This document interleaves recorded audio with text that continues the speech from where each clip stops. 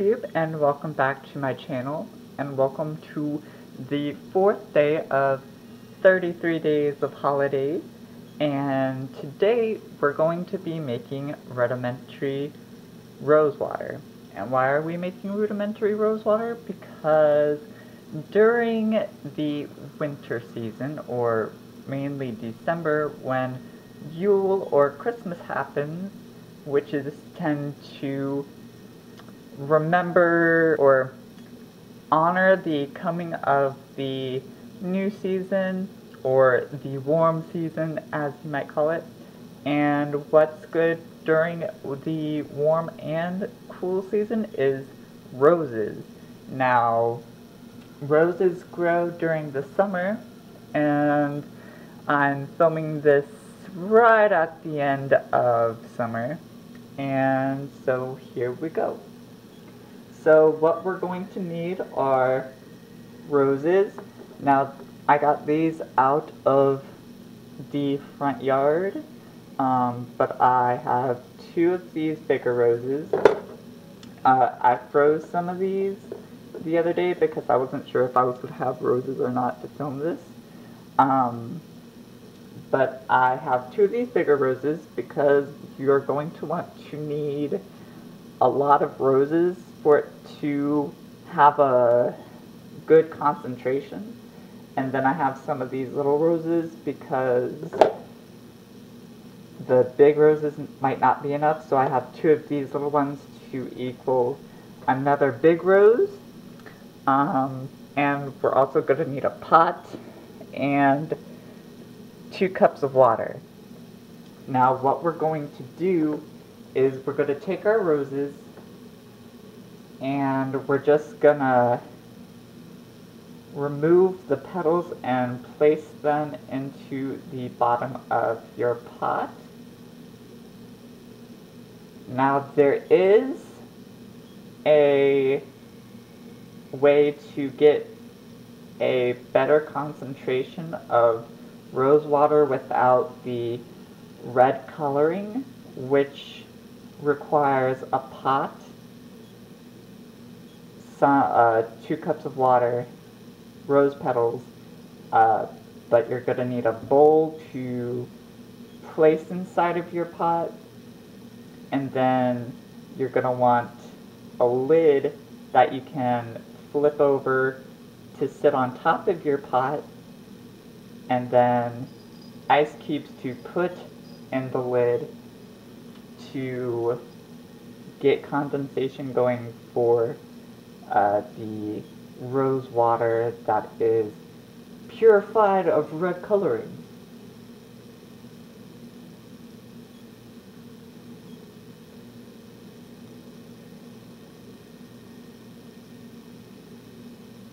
But today we're just going to focus on rudimentary rose water. Rose water you can make on the go when you don't have too much time, but might want some, you know, soft skin or if you got itches or acne and stuff like that.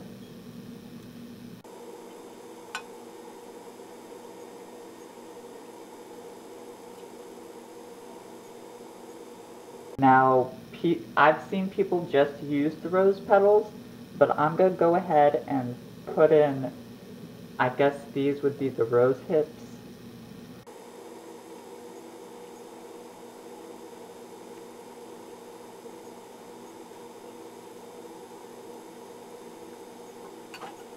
that out along the bottom.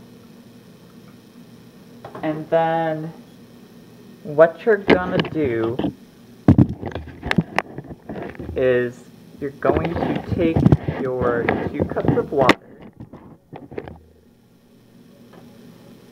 and you may not use all of this water because you're just going to fill your pot just above where the rose petals end.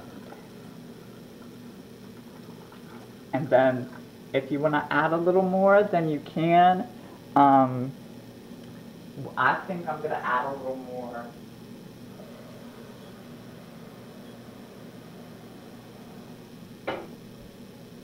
The only downside to adding more water is that it will thin out the concentration of the actual rose water. I like to go maybe just under halfway of the pot with water, no matter how many rose petals are in there. Like if there were more rose petals, I'd probably put more, but about almost halfway is pretty good if you just got the very bottom covered. Um, and then what you're going to do is you're going to set your heat on medium high. So I'm putting this on like a 5. And then you're going to want to cover this because you want to keep any oils that the roses are giving off in the pot.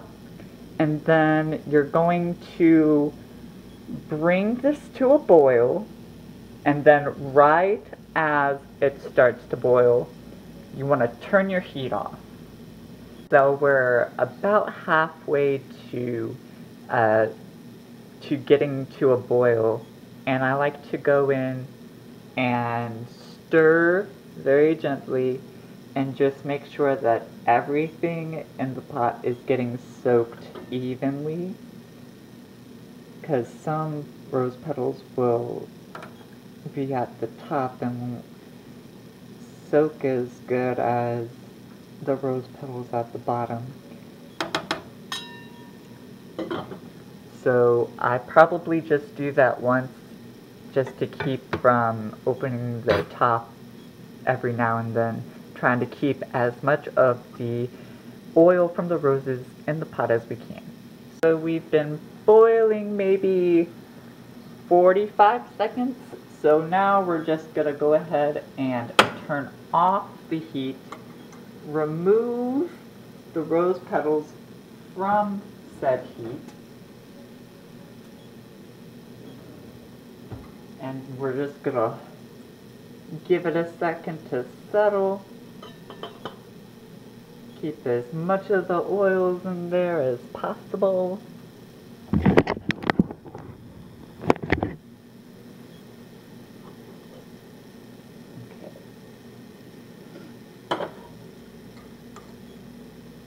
And as you can see here, I'm going to try to get that in camera, um, that the pink petals that we used looked look almost white, and then even the red look like they are translucent or almost have no color.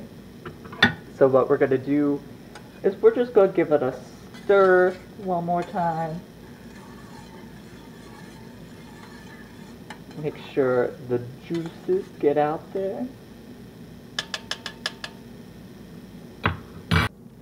Alright, so what I've heard is that you want to take your rose water and jar it up pretty fast and then put it in the fridge for it to cool down as fast as you can to really make sure that the oil holds so what we're going to do is we're going to take a sieve, and I have a jar here. I'm going to put this sieve right there.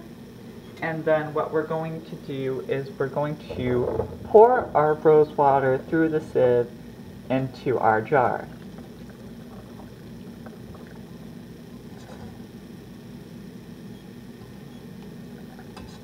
Okay, like so and then we're just going to want to push into those rose petals and make sure that we're using as much of the roses as we can so that we aren't wasting.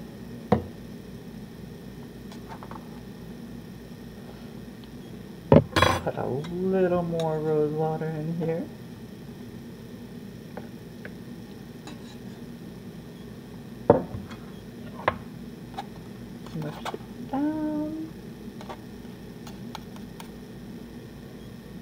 And then what I would normally do is I'd put a very tiny bit of vodka in here to help keep it fresh uh, for a little longer.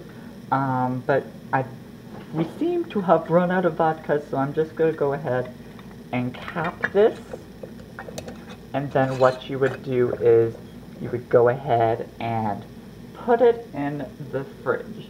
And then you would have rudimentary rose water, which is good for your skin, for calming out, for all kinds of stuff. It's an antiseptic. Um, it's also good for healing wounds and things of the such. But yeah, um, what I'm going to do with the rest of the rose water is I'm going to put it into one of these bottles, but since it's too hot, it'll melt these bottles, and I don't have time to go into Walmart to buy me some spray bottles. Okay, so that's it for today's video. If you like this video, then hit the like button. If you have any suggestions for future videos, then leave them down in the comments. And if you haven't already, subscribe. Alright, bye guys.